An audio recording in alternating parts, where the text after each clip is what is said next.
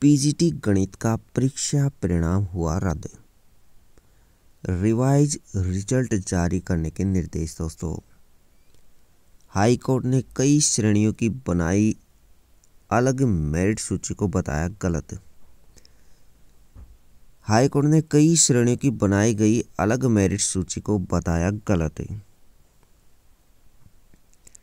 हरियाणा लोक सेवा आयोग के पीजीटी गणित के 315 पदों के स्क्रीनिंग टेस्ट के लिए 6 अक्टूबर 2023 को जारी परीक्षा परिणाम को अवैध बताते हुए पंजाब एवं हरियाणा हाई कोर्ट ने परीक्षा परिणाम रद्द करने के आदेश दिए हैं।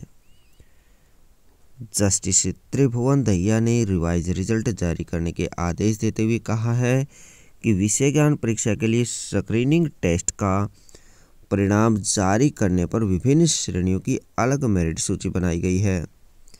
जो गलत है, नियुक्ति के लिए अंतिम परिणाम के समय ही अलग अलग श्रेणियों के अनुसार परिणाम जारी किया जा सकता है। लेकिन इससे पहले स्क्रीनिंग टेस्ट के दौरान इस तरह रिज़ल्ट जारी नहीं किया जा सकता।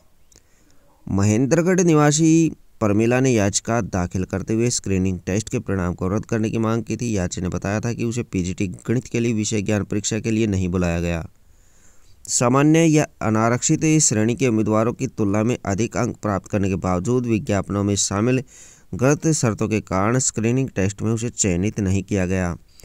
याची ने बीसीबी श्रेणी में सौ में से इकतालीस पॉइंट आठ पाँच अंक प्राप्त किए थे, फिर भी उसका चयन नहीं किया गया, लेकिन सामान्य श्रेणी में जिनके अंक अड़तीस पॉइंट ज़ीरो चार थे, उनका चयन कर लिया गया। विज्ञापन के अनुसार स्क्रीनिंग टेस्ट के समय श्रेणी के मुताबिक पदों के चार गुना आवेदकों को अगले चरण के लिए शॉर्ट लिस्ट किया जाना था।